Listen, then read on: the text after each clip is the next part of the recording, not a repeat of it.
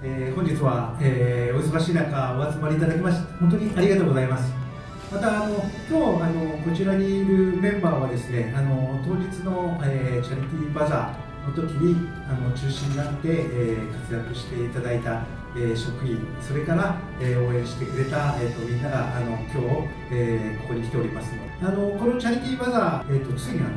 20回を超えて21回になりました、えーと、職員が気持ちを持って何か1品以上を持ち寄るという、えー、活動。そして、えー、みんな1品以上は買っていくよっていうふうなところの、えー、バザーの活動です。で同じくこの築地のあの自治会の皆様の方にもご案内して、えー、こちらの、えー、お住まいの方たちも、えー、積極的に購入していただいたり募金をしていただいたりとかっていうことで非常にあの地域全体でも、えーと、広がっている活動でございます。